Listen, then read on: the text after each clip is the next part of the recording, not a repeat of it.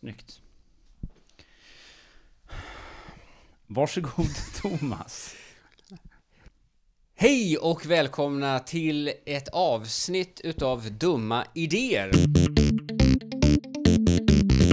Mitt namn är Thomas Eriksson och med mig bredvid mig så har jag Isak Varför, eh, varför låter du som en sportkommentator? Det var jag, därför att vi har kameror. Vi har kameror. Jag Så vet inte fort vad vi fick göra. kameror och du tog på dig en kavaj. Ja. VM är igång och...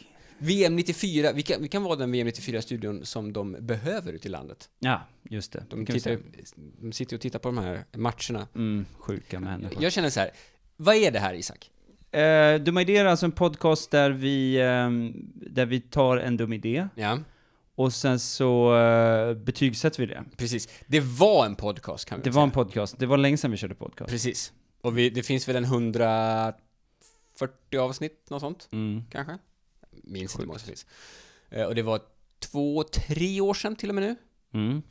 Och hur går betygsättningen till? Ja, det, det går alltså till så att vi tar en dum idé och sen så försöker vi plöja den genom ett betygssystem som heter FOX.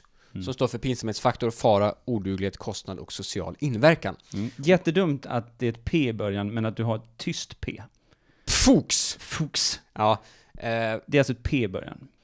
Hur som helst, eh, vi ska ta och köra ett litet extrainsatt eh, corona-special kan vi precis. säga. Vi kan ju berätta vad det här är, för vi brukar ju inte filma. Nej, men vi, vi tänkte vi gör någonting lite annorlunda. Ja, Men vi ska också säga det att, eh, för podden har ju lagts ner för länge sedan. ja den är Men vi kände nu, med tanke på corona, ett, vi har en massa, massa fritid. Jättemycket fritid. Eh, två, det har ju skett väldigt mycket dumheter i samband med corona. Ja, Och det här känns ju som ett bra tillfälle att eh, sammanfatta det och lite grann eh, analysera precis. de grejerna. Och... Eh, Kanske inte sammanfatta, kanske snarare plocka ut godbitar. Mm, just Gud det. vad jag saknade där som du, jag kan, men om jag sett, ja men så, Mm. nu är jag bra, nu är jag med. Det är dags för dum idé nummer ett. Katrin Zytomierska. Säg det namnet en gång till, Zytomierska, är du säker på det? ja. Okej. Hon var med Ja. i det här SVT Möter, Mhm, eller SVT Möten, mm. Där hon fick prata med en eh, forskartyp. En professoraktig person. Han, Gud vad han har gått igenom många timmar utbildning för att få den titeln Mm. kastad i ansiktet. men han, han levde verkligen upp till forskarmyten. Så Okej. Yvigt, eh, grått hår, eh, välartikulerad. Jag tror att han inte presenterar sig som forskartypen. Nej, han hade ett namn, Ja. såklart. Okej. Men han eh, och Katrin då fick ju debattera om eh, då Sveriges handlingsplan i coronatider. Mhm, mm. Och vi ska börja med att säga det att, att vare sig jag eller Thomas är experter inom epidemiologi. Nej. Eh, det som jag, jag lyssnade på den här, tittade på den här grejen i SVT, eh, deras debatt då. För att jag var nyfiken på att höra Katrins perspektiv på saker och ting. För Var jag, du nyfiken? Ja, men jag var det. För att jag, jag, någonstans tycker jag faktiskt att man ska lyssna på även de som man inte håller med. Ja. eh, i, I vad de har att säga faktiskt. Där. Och särskilt i det här fallet så tyckte jag så låt henne få prata. Jag tänkte särskilt på den här, hon gjorde ju den här eh, reklam för Omega-3. eh, Exakt. Som hon sålde, vilket såklart inte var kanske det bästa att göra. Eh, men därför så, så hade man lite på förhand kanske en liten eh, eh, negativ inställning till henne. Man vet ju att man har gjort bort sig ordentligt när man har försökt kränga Omega-3 i coronatider och det är inte den dumma idén vi ska ta upp. Nej, precis. Vi ska också säga det, alltså, alla som kränger Omega-3 Ja. är är ju lite dumma i huvudet. Mm. Så hur som helst, det hon sa, det jag tyckte var intressant det hon sa i den här debatten var att hennes förslag då på åtgärd som Sverige ska gjort, det är att lås in landet i två till tre veckor. Och sen är det här löst. Lås in landet. Ja, alltså total lockdown, Okej. två till tre veckor, då är det här löst. Det var hennes förslag. Ja. Och då fick hon ju då mothugg av den här forskartypen, eh, den här Dr. Snuggles-imitatören. Men, och han klev in, men han hade egentligen inga riktigt bra argument mot hennes det här två till tre veckor-konceptet. Och det fick mig att börja tänka så här, fan det här kanske är en rätt bra idé med två till tre veckor. Alltså att det vi gör, Ja. det är att alla bara låser in sig i två till tre veckor. För det som händer då, det är att de som är smittade, då kommer de hinna bli friska efter två till tre veckor. Mhm. Och då är de immuna när de kommer ut i samhället. Och viruset har ju ingenstans att ta vägen. För den är fast i en lägenhet i Hägersten. Och liksom bara har ingenstans att ta vägen. Så viruset själv dör. Just det. Och därför så två till tre veckor, sen det här borta, samhället återgår till det vanliga. Mm. Det var hennes lösning. Och när jag hörde det så tyckte jag, det här är ju en briljant idé. Och då tänkte jag, ska vi inte köra det här genom Dumma Idéers betygssystem? Får vi verkligen se om det här eh, är en bra eller dålig idé. Just För det. på pappret så låter det briljant och Ja. väldigt enkelt. Ja. Eh, det som är saken är ju den att det finns ju en del, eh, det är inte riktigt så enkelt. Nej. Nej. jag, jag, jag bara tänker, vad händer med de människorna som då har blivit smittade och blir katastrofalt sjuka? Ja, De ska inte få hjälp, utan de ska själv dö under de här, i den här planen. det är ju det som är grejen va? Jag tror att för att den här planen ska funka, Ja. då måste de själv dö. Okej. Mm. Men du tycker ändå att det låter som en bra idé? Nej, jag säger inte att det är en bra idé. Jag säger bara att, jag tror att, alltså när man hör det först, Ja. så tänker man, ja. Du löser det sig. ja, ja, ja. Ja, just det. Varför ta den svåra vägen, Mm. när man kan ta den här lilla eh, genvägen Just det. till eh, flockimmunitet? Eller eh, bli av med hela smittan. Men om, men om, om hela eh, samhället stannar av då? Mm. Eh, överlever samhället i tre veckor utan att någon gör något? Vad händer med rent vatten? Ja, och det här är en del problem uppstår ju då. Ja, För först och främst så måste vi ju ha saker då. precis. Eh, vatten och sådana saker. Så För det innebär mat, då... mat tror jag man kan bunkra så att man har hemma för tre Ja, och, veckor. och där finns ju problemet att folk kommer ju vilja bunkra själva, vilket gör att det kan ta slut av vissa varor. Det kommer ta väldigt slut. Ja, så därför så måste man ju då på något sätt statligt dela upp all mat Just det. Och fördela det på varje hushåll. Mm. Så att man får så mycket mat som att man klarar sig under den här två till tre veckors perioden. Sen måste ju alltså de som jobbar inom till exempel eh, vatten Ja. och ehm, el och sådana saker, värme, eh, allt vad det Gud, är för tänk att inte ha internet under de här tre veckorna. Mm, ja, fast det måste man ha. Så Varför som är, det? Det som är grejen då är Varför att, måste man ha det för? Hur ska man annars klara två tre veckor? Ja men det är det jag menar. Okej. Vad roligt att du jämför det med rent vatten. Du måste ha Netflix, annars... Ja, ja, då ska vi- Ja, mm, okej, okej. Mm. Kod. Skitsamma. Eh, Torsk? Ska, nej men Call of Duty, Ja, ja, ska, men- ska vi bara möta bottar? Ingen vill ju möta, bottar springer bara rakt mot den. Man vill ju ha Men folk du som, kan ju, skriva, du kan ju spela single player, alltså... det är bara, nej. Då måste vi, då måste vi ha folk alltså som bor på ställen de produceras, och de måste bo kvar där under de här två till tre veckorna. Okej, du tänker att du flyttar dem och deras familjer? Ja, Ah, det är det enda sättet att få det att funka. Ja, just det. Mm. Så de måste åka dit, de måste bo på kraftanläggningen eh, Ja. och eh, internet utskicka den. Ett par saker då. Mm. Först, eh, så det kommer krävas att man, att man bygger hem Mm. i anslutning till de här viktiga Ja. ställena. Mm. Ish. Ja. Det måste finnas en, en sån säng. Madrass måste i alla fall finnas. Ah, madrass och laddningsmöjligheter till mobilen. Mm, Sen överlever man tre veckor. Ja, precis. Ja. Eh, och sen är det ju det här att, för att både om då maten ska distribueras, Mm. så, och eh, de här sakerna ska lösas, det är några veckor som krävs Mm. utav eh, plan, alltså, ja. Alltså, jag tror att det kommer nog finns ta... det risk för smitta där känner jag? Det kommer nog ta tre veckor Ja. av att bara sköta logistiken kring Precis. allt det här. Ja. Och samordna alltihopa, ordna med mat, eh, distribuera maten, se till så att det finns sängplatser på alla arbetsplatser som krävs. ja. Eh, och sen när det väl så sätter man, det är lite som the purge, man måste bara sätta ett datum och då är det det som gäller. Just det. Så att eh, det är lite planering och jobb inför det här. Så de här två till tre veckorna, det kommer ju kräva sex veckor totalt. Oh ja. Mm. Ja, m- minst. Minst. För, vi, för det finns ju en till, ga- ganska stor, som vi inte ens har gått in på än, Mm. och det är ju kriminella. Ja.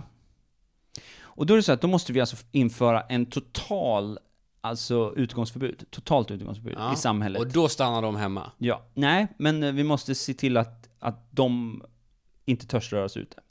Och vi kan ju inte ha poliser, för har vi poliser ute så måste ju de också, då kommer ju de i kontakt med folk och Just riskerar att föra smittan vidare Hundar. till varandra så. Eh, jag tänker drönare Du tänker drönare. mm, med eh, hagelbössor. Som bara, och de här sköts av poliser hemma. Varför väljer du hagelbössa? Det kan vara vilket vapen som helst. Ja, Armborst, för- om- Ja men armborst, maskingevär, en- flamethrower. för att jag tänker rekylen från en hagelbössa på en drönare Mm. Ja. känns, det känns som en, som en engångsgrej. Ja. Det är ett skott och sen så ligger den i ett träd någonstans. Men tror du inte det kommer bara krävas att man skjuter ner en tjomme? Just det. När, någon, när nyheten kommer ut om den här, den här, den här stackars eh, försäkringsförsäljaren som blev skjuten i huvudet av ett hagelbössa. Jag inser också att jag, när jag tänker drönare så tänker jag på sådana här små drönare Mm, som man har. För att jag vet ju att i krig använder man dem i drönare. Man Just skjuter, det. med, man skjuter ju liksom missiler. Ja, Så att jag tror att de, det finns bättre drönare. det finns bättre Mm. drönare. Men du vill ha såna här, såna här skakiga... Sådana som, som ser ut som TIE fighters och, och fåglar. Så ska, ni, ska liksom sitta hemma, de här poliserna, och försöka sikta med de här. Det är också det att poliserna måste ha någon slags träning. Vi måste också producera alla de här drönarna, Ja. eh, bestycka dem med hagelbössor. Vi måste sen rigga alltså såna här stationer hemma hos poliserna, så att de kan styra drönarna. Men gör vi inte det här svårare än vad det behöver vara? Okej? Jag tänker, jag tänker en van, Mm. en hagelbössa, en polis i vanen. Åker Ja. omkring. Men då, ja men det är för få. Ja men alltså vi har fler vans. Då är det bara ringa till, vart är han? Ja, han är i Sollentuna, men- ja men du, då går vi ut och äter Ja, glass. men vi, men 30 000 vans i Stockholm. Ja. Som åker omkring med varsin hagelbössa. Ja, som bor i vansen. Ja, de bor ju i vansen. Ja, just det. Ja. Ja. det, det, de, de bor ju hemma. Mm. Eh, Men, de- men de, det är en luftsluss ut till vanen. så, Ja. de, så de är airtight. Ja. Så att de kommer in i den, och sen så får de vara i den en arbetsdag, så blir det luftsluss tillbaks Det in till familjen. så, så väldigt mycket mer obehagligt med läskiga vans Ja, som det bara åker runt med så tonade rutor. Fast nej, nej, ja, nej de, ska, de ska synas tänker jag. Jag tänker Okej. snarare att det ska stå covid-van. att, det är en, att det är en egen, eh, en egen sirensignal. Mm. Mm. Något skräcken, för de har ju rätt att döda på sikt. Lite så corona-inspirerat. Något sånt. Arriba! Man ser ett par in, inbrottstjuvar med kofot som får panik när de hör den där. Men för en annan lösning är ju någon slags hundvariant då, som är ute. Lite Attackhundar. screamers också. Screamers. Alltså robotar. Som bara och dö- som dödar allt. Ja, just det. Även, an, även djur. Allt Vi har inte bara riktigt lyckats allt. lösa Ja. den biten. Men så, så något... Blir vi av med varje frågan på samma gång? Alltså, så är det verkligen. Det är skönt. Men så vi måste ju alltså på något sätt, eh, ja, administrera, konstruera och... Eh, Har vi löst alla problem nu? Ja, sen är det ju då det här med de som blir sjuka. Precis. Ja, och de får ju bara dö. Och de får bara Det är ju tyvärr eh, det som är eh, Om det är två lösningen. föräldrar och en sjuårig flicka och den sjuåriga flickan är kvar. Mm. Ska hon vara ensam då i tre veckor med sina döda föräldrar? Ja.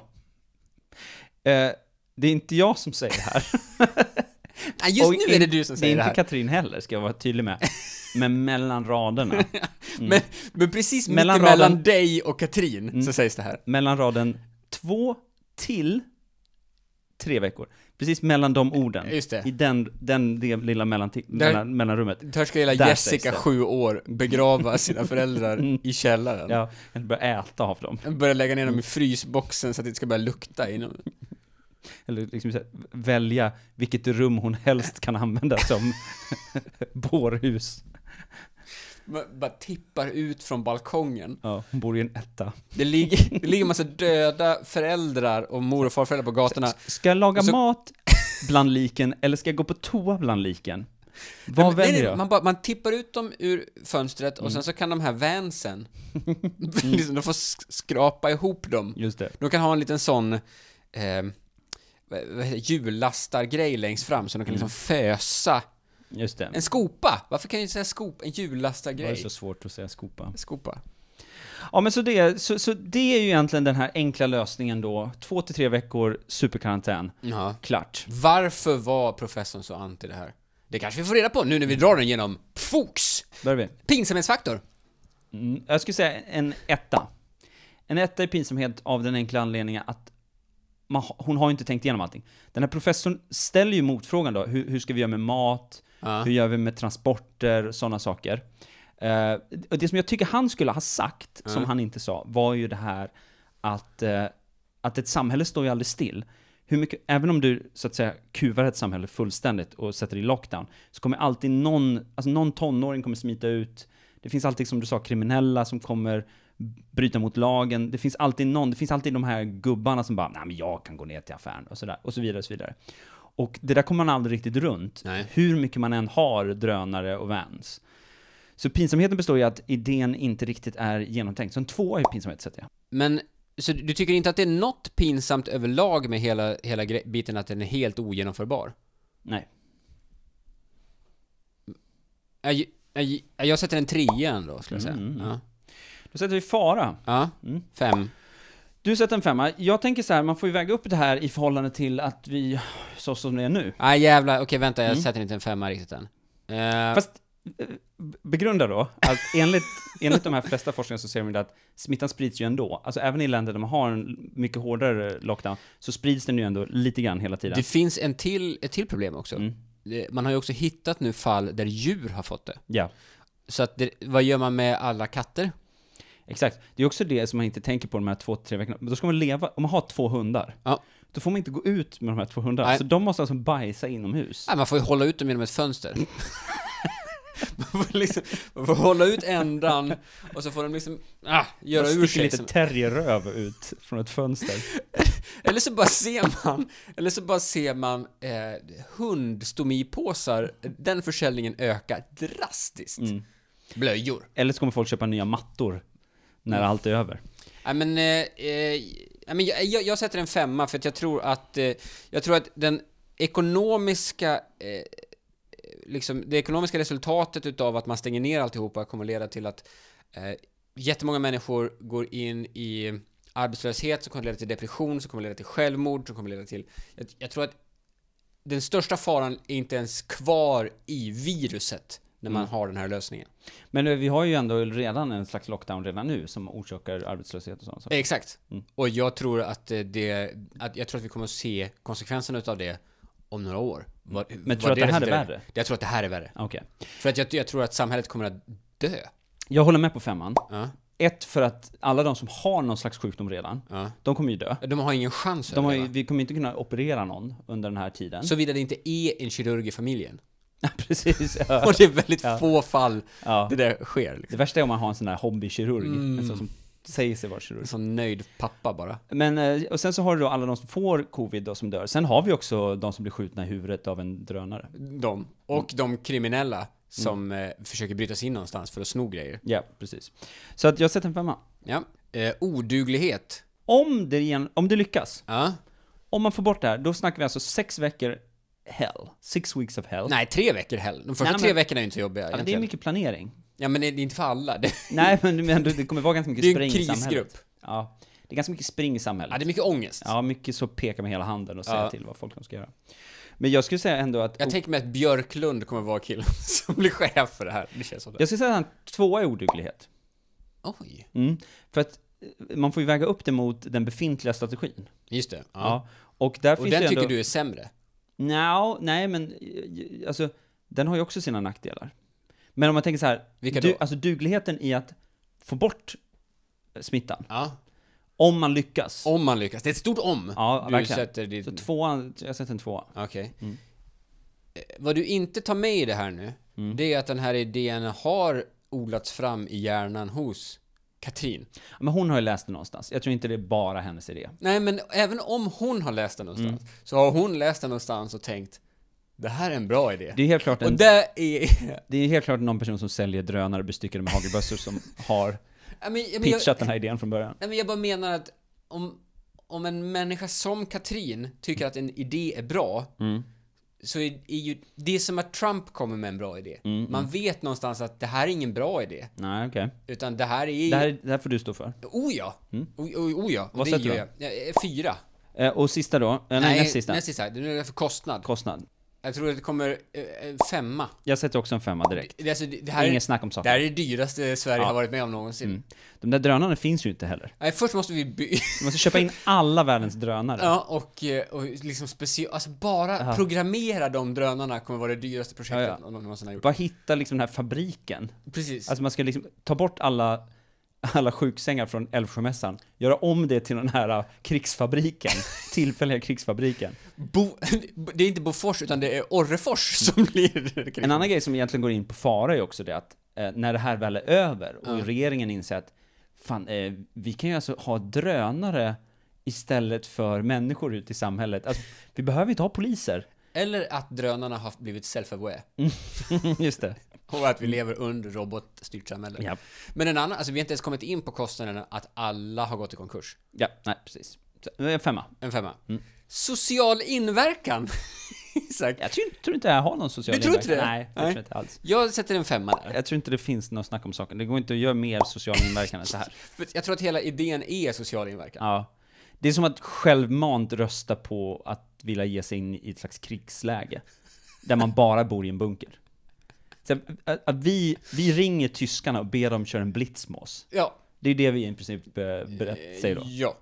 Jag, jag tror också att vi kommer bli omnämnda i pressen som det nordiska experimentet. Mm, Igen. så är det. Eh, och det, bara det, vi, blir ju, vi kommer bli kända i världen. Det är också en social inverkan i sig. Så är det. Eh, idé Katrin får 82% dum idé. Det är, det är väl väldigt dumt. Ja, det är hysteriskt dumt. Ja, så att... ehm, Det är katastrofalt. rätt tänkt, fel ändå. Skulle... Vissa saker rår man inte på. Rätt tänkt, fel ändå. En solig semester för två. Rätt tänkt, men fel ändå. Vad är det här? Jag har precis citerat Sven Rubins. Bra. Mm. Um, var det... kanske, Långa bollar på Bengt. Okej. Man kanske önskar Mm. att vi hade suttit mitt emot henne och argumenterat istället för den här professorn. För då hade, för då hade vi bara... Bett henne köra igenom kos. Ja, och då hade vi bara kunnat förklara att jag är ledsen men den är 82% dum den här idén. Så Vi- vi varför? inte- Mm, du, Ja. kan, du kan inte förneka det. Kan inte förneka det. Varsågod Thomas. Det blir ju dags för dum idé nummer två.